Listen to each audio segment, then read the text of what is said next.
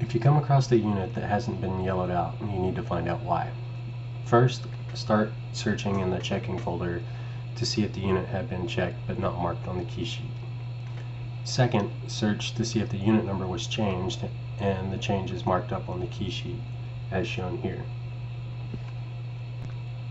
You'll want to manually highlight the updated unit mark number text in yellow. Check if an added unit number was actually created and checked.